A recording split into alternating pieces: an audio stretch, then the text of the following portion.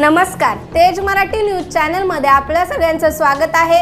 तेज मराठी न्यूजच्या ताज्या घडामोडी पाहण्यासाठी आजच आमचं चॅनल सबस्क्राईब करा लाईक करा शेअर करा आणि बेल आयकॉनचं बटन दाबा. धन्यवाद. दलीय दुर्घटनेत जे जे आणि के एम रुग्णालयात उपचार घेत असलेल्या रुग्णांची आमदार भरतसेठ गोगावले यांनी मुंबई येथे जाऊन केली विचारपूस.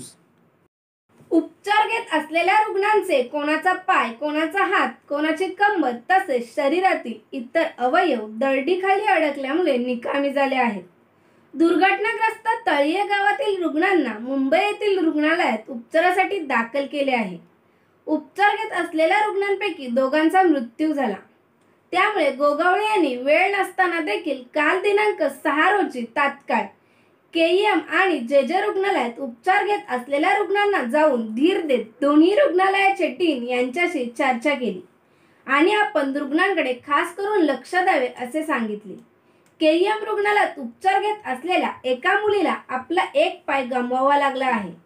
यावेळी केईएम रुग्णालयाचे डॉक्टर बांगर सर यांनी आमदार साहेबांना सांगितले की मी स्वतः या मुलीकडे उपचार करण्यासाठी लक्ष ठेवून आहे.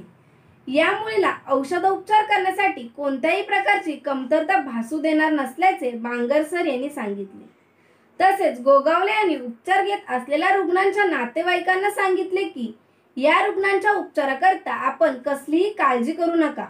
यांना सर्वोत्तपरी उपचारासाठी लागणारी आर्थिक असो की आणखी कोणतीही मदत करण्यासाठी आम्ही आणि शासन देखील त्यांच्या पाठीशी खंबीरपणे उभे आहोत. ब्युरो रिपोर्ट तेज मराठी न्यूज महाड रायगड